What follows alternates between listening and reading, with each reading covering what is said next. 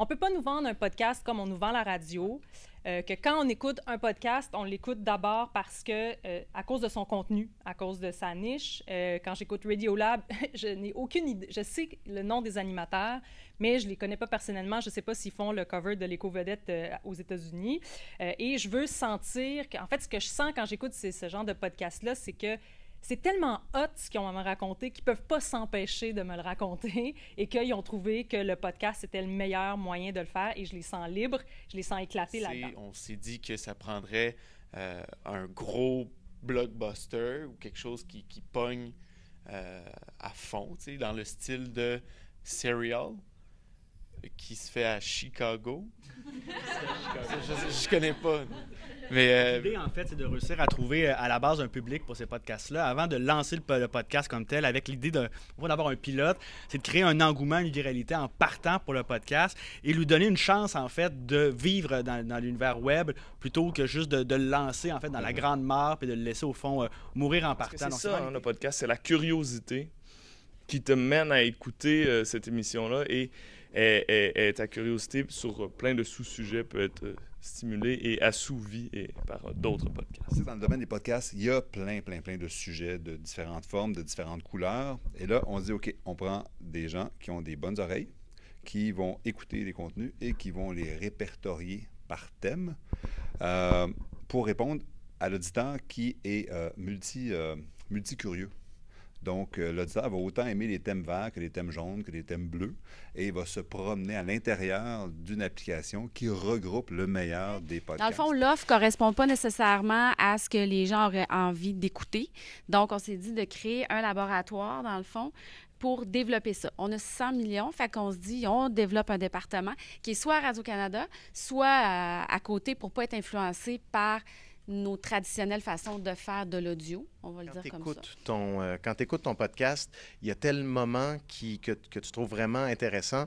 OK, tu mets ton marqueur là, ça, ça m'intéresse, ce bout-là, un petit peu comme les marqueurs que tu peux mettre dans euh, euh, SoundCloud.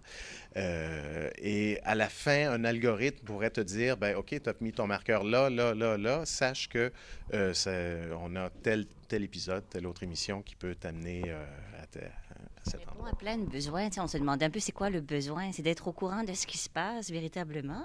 Puis c'est aussi d'ouvrir les ponts, de faire en sorte que les gens puissent se reconnaître entre eux, entre la Belgique, la France, les Caraïbes, pourquoi pas. Mais pour l'auditeur aussi, c'est de pouvoir s'y retrouver à travers comme l'abondance qui existe. Fait que déjà de délimiter un espace francophone où le meilleur est réuni, nous, on pense que ça va vraiment exploser la radio. C'est incroyable. Tout passe par ici. Je coordonne. Puis on a juste besoin de quatre employés et on règle technique, contenu, marketing. Voilà. Et Catherine faisait remarquer pertinence qu'on fait état de ce qui se passe aujourd'hui. Et il y a des gérants d'estrade, des chroniqueurs qui vont dire qu'est-ce qui va se passer par la suite. Mais rarement, on a une vue 360 de dire qu'est-ce qui fait qu'on est rendu dans cette situation-là. Et donc, on se cherchait une personne qui peut, euh, peut-être par le biais de l'humour, vulgariser l'actualité. On, a ciblé comme problème majeur euh, l'émancipation du, du, du, monde du balado, euh, c'est la méconnaissance du public du format.